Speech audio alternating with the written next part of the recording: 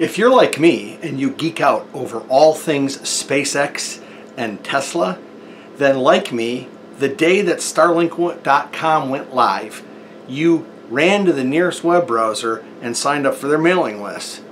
And then when word of the beta program rolled out, you thought, hey, that's for me.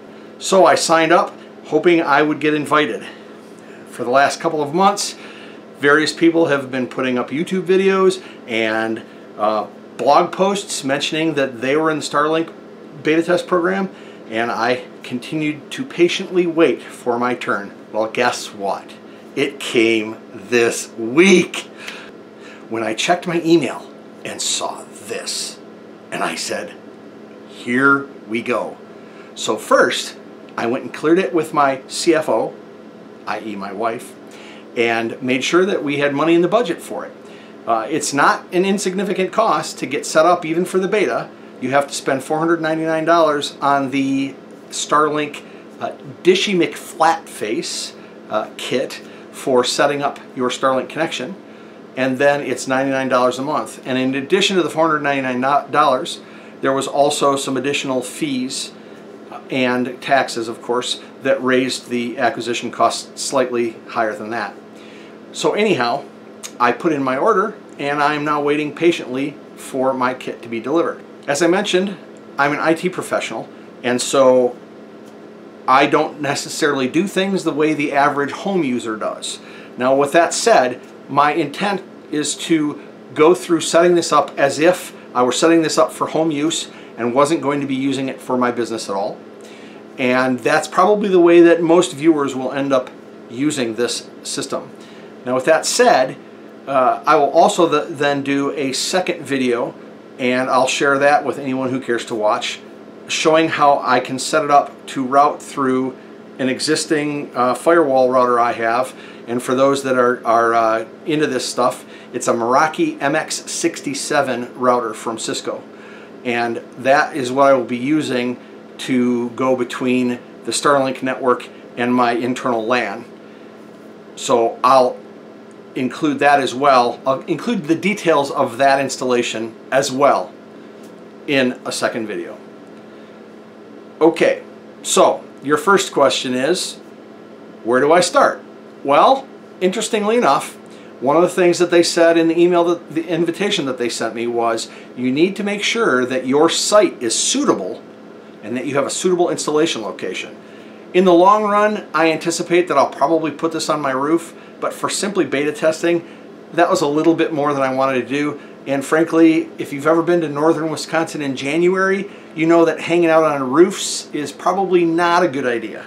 Uh, we, we actually only have a few inches of snow on the ground this year, but still, I'm not climbing on the roof in January if I can avoid it. So I'm just setting this up in a temporary location for all of you to see.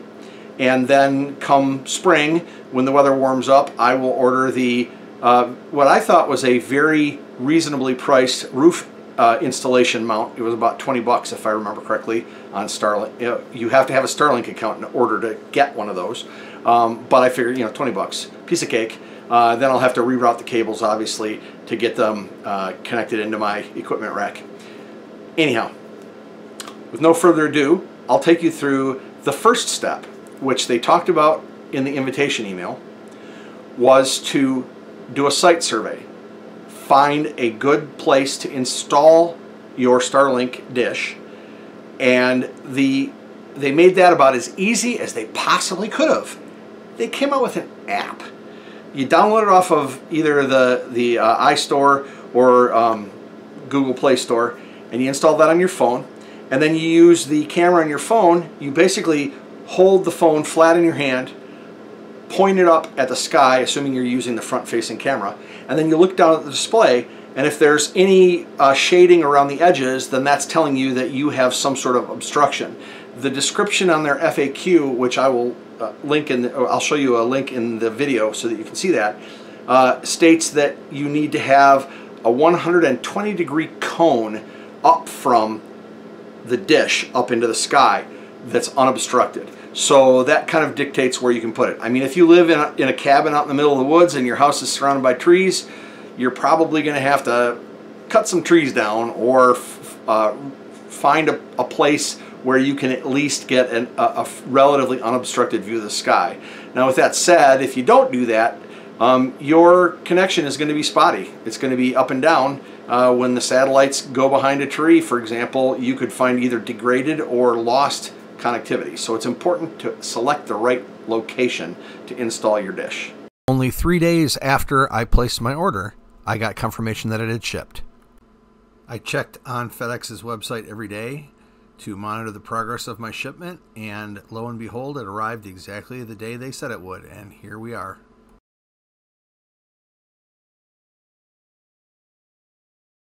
There's not much documentation that comes in the box. Basically, this quick start that shows you point the dish at the sky, plug in the cables, and fire up the app. That's pretty much all there is to it. There's also regulatory information if you care about that. Unless you've bought the roof mount, you'll use the tripod that comes with the kit. It has holes in the ed- at the ends of each of the arms so that you could stake it into the ground, but now that the ground's frozen, that's not going to happen. So I'm just going to weight it down with some bricks. The documentation refers to this as Dishy McFlatface, and it really is. The, the face of it is completely flat. If you've ever seen a satellite dish before that's concave, this isn't like that at all.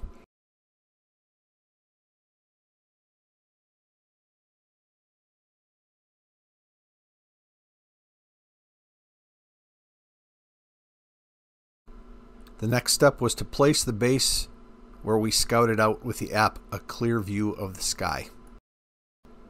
Install the dish into the tripod, then run the cable towards the house where you're going to run it in through the wall.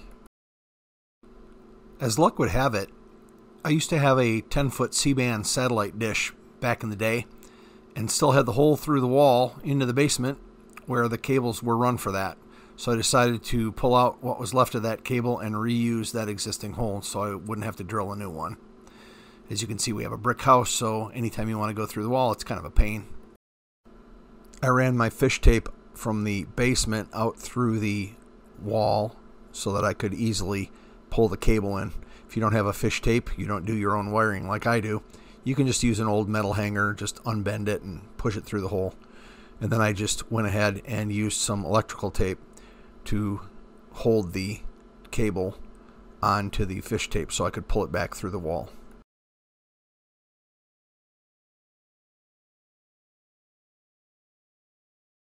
Now I just push the cable into the hole, go down to the basement, pull the fish tape through, unwrap the electrical tape to expose the end. You'll see it's just a standard RJ45 Ethernet cable connection with some built-in what looks like surge suppression a few inches up the cable.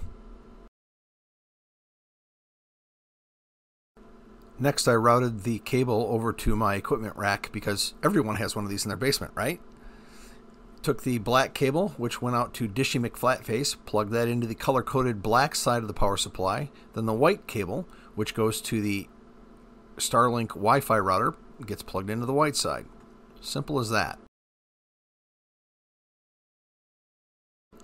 Now plug the power for the power adapter into any available uh, grounded outlet. Uh, on mine, I recommend the use of a surge protected outlet strip like this one, which happens to be plugged into a uh, uninterruptible power supply battery backup that I have because I don't want my network to go down if I have a power blip. Within a minute or so of plugging in the power, you'll see that Dishy McFlatface will turn his face to the sky, scanning for the nearest Starlink satellite. Now that we have things connected, we go into our phone, choose our new Starlink Wi Fi network from the list. That takes us to a setup page on the Starlink website so here you put in the name that you want your Wi Fi SSID to be, the name of your Wi Fi network, and then enter the password, retype it to make sure it's accurate. And then after a short reboot, then you should be able to connect to the network, which you'll find in your Wi Fi screen. Once you connect, then It's going to go out, do whatever it does. In this case, Android is setting up the Wi Fi connection, and boom, we're connected. So now that we're connected, we need to go and check things out. Is it working?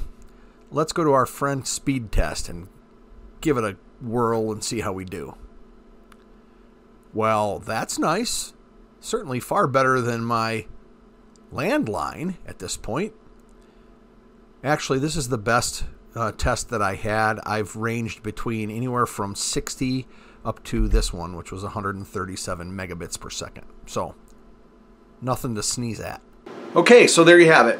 That's all it takes to set up your Starlink better than nothing beta kit and get online. Beginning to end, including putting the dish out in the yard, running the cable, and getting everything connected and configured. It was about an hour. Uh, the actual part where I was setting up the dish and configuring it and adding my Wi-Fi network was 10 minutes, maybe 15. So it's as easy as that. You don't have to be an IT guy like me. This is so easy. I can't I can't imagine anyone having a problem getting this working. But if you do, they do have a support uh, section of their website that you can go in and open up a support case. So if you were wondering how hard it would be to bring up your Starlink network connection, now you know.